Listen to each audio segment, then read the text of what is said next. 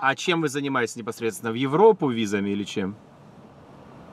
А, Ну, смотрите, рабочими визами, польскими, плюс у нас внешний рынок это граждане Евросоюза. То есть, А вы, хозя... вы хозяйка компании или, или вы топ-менеджер? Какая у вас должность там? Менеджер. Ну, так надо мне, наверное, с управляющим каким-то разговаривать, с каким-то владельцем или как? Ну, Ну, я с ним уже. Говорили, хорошо. Ну вот смотрите, вот смотрите, плюс сотрудничество с нами. Ну, во-первых, мы, мы пять лет занимаемся этим бизнесом. Мы лидеры на этом рынке. Это все признают, даже наши конкуренты, что мы лидеры в своей отрасли. Да? Мы занимаемся не только рабочими визами, у нас очень много разных услуг. Если вы зайдете на наш сайт, вы посмотри, посмотрите. У нас есть и программы для предпринимателей, и лечения в США. Это, ну окей, посмотрели. Хорошо. То есть, конечно, нам важно найти нормальную толковую компанию, которая бы представляла наши интересы э, в тех или иных городах Украины. И мы, мы находим, с кем-то э, получается работать, с кем-то не получается. Вот видите, вы звонили, и вам не дали ответ нормальный, адекватный. Ну вот, я звоню.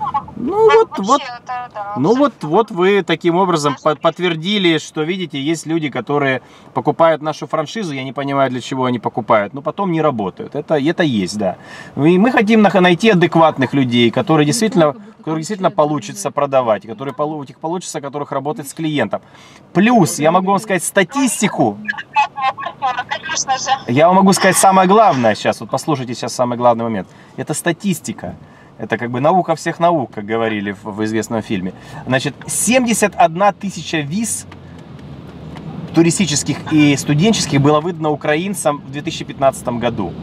А, Это больше э, процент, чем в 2014 году, в отличие от россиян, которым процент сократился.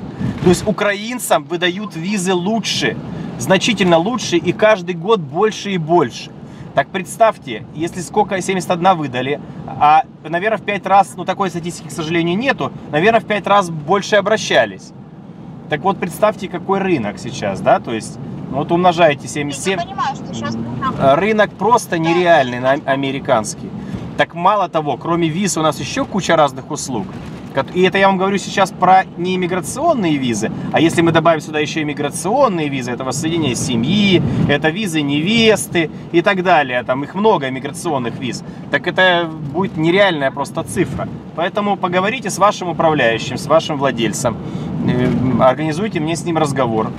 И я думаю, что если он, мы договоримся, вы будете нашими представителями. Хорошо, а что по цене франшизы у вас? Какая У нас full франшиза стоит э, полторы тысячи. Мы обуч- обучим ва- вас, дадим вам все наши баннера, которые разработаны уже тут много лет и накопились, да. Мы дадим вам договора, мы дадим вам всю рекламную поддержку, мы дадим вам доступы ко всем нашим сайтам, ко всем ресурсам, к базам данных вакансий. Сейчас мы готовим базу данных вакансий.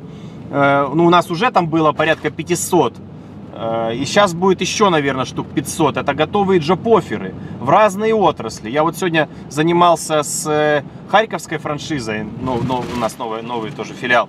И мы просто вот даже про- прошлись по конкретным базам. У нас есть и в сельском хозяйстве, и в IT-сфере, и в медицине рабочие визы, конкретные рабочие визы, и в финансах, и в ремонтно-строительной сфере. То есть это конкретные джоп-оферы с конкретных компаний. Это не просто там вот как это вот там-то, там-то кто-то дает. Стоп, надо подожди. А, Я понимаю. Ну, смотрите, еще такой Да. вот вопрос. Э, Ну, хотелось бы вот всю эту информацию получать вот вовремя, компетентно, качественно. Вот насколько я вот обращалась во всякие украинские ваши офисы, вот, они мне говорили, ну, вот сейчас мы посоветуемся с координатором, вот он сейчас на связи, вот, ну и опять-таки я же говорю, что информации корректно не было. Я так понимаю, что они общались с координатором, просто вопрос в чем, как бы, насколько у вас компетентны вот эти все координаторы. Кто-то компетентен, кто-то некомпетентен. Вы же сами это поняли. Координаторы это главный наш офис. Это, они общались либо с Владимиром, либо со мной. Либо, может быть, с Натальей, руководителем нашего офиса в Майами. Вот с кем-то из, из этих людей. Но, но я не знаю конкретно, давайте тогда расследование пройдет. С кем вы разговаривали, я буду выяснять, кто, когда звонил и так далее. Вот, я всегда даю очень подробную информацию, очень четкую информацию. Я не люблю воду лить никогда. Если мы не можем помочь человеку, я говорю, мы помочь вам не можем. Все. Никак мы. Вот вы спросили про нелегальную работу. Я сказал, мы не можем этим заниматься. Я четко вам ответил. Значит, такие, скорее всего, они не общались с координаторами. Скорее всего. Я Ну, думаю. может быть, они, может быть, да, они мне просто сказали так по телефону. Ну, вот так вот. Я не знаю. Вот такие франчайзеры, понимаете? Есть нормальные, есть ненормальные. Я с этим борюсь, я с этим борюсь. И некогда, вот, например, фран... есть, есть франчайзи, который я просто удалил его вообще из списков и убрал со всех сайтов, потому что он вообще неадекватный человек оказался. Я поняла. Ну, смотрите, хорошо, э, еще вопрос. Э, какой, как, э, какие... так, сейчас сформулирую. Какой процент вот от ваших услуг получаем вы, ка- мы, как агентство по франчайзингу? 20% вы получаете. Пос- 20%. Да, почитайте раздел партнерства на нашем сайте, там очень подробно рассказано. Да, да.